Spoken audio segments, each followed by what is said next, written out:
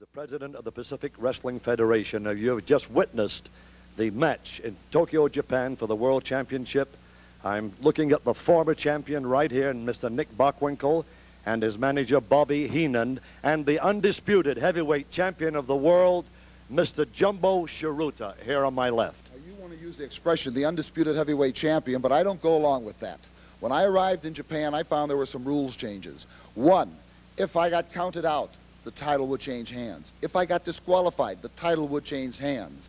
A special referee by the name of Terry Funk, who happens to be from Amarillo, Texas, the home of Stanley Blackburn, and a very good friend of a Mr. Lanza and a Mr. Oh, Mulligan. come on. The, he was a special referee, and on top of that, this man here was barred from being at ringside and being in Japan with me, and you want to use the expression undisputed? I think there's a lot that can be disputed here.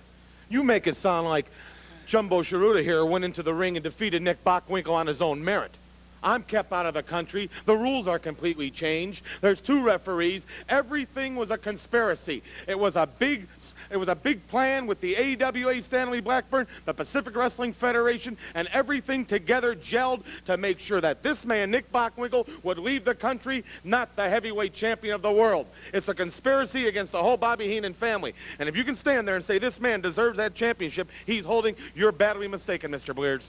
Well, this is all academic now, Mr. Heenan and Mr. Bockwinkel, because this man here is the undisputed world heavyweight wrestling champion. Would you give him the courtesy, uh, coming from another country, particularly, to let him say a few words to the American audience and the world audience?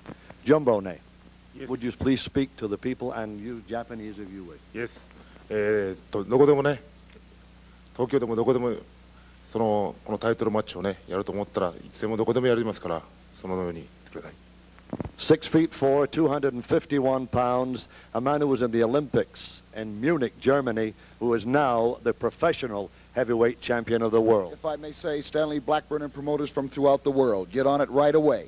I am demanding a rematch with this man. There's no reason in the world for any delay whatsoever. I want it taken upon and gotten done.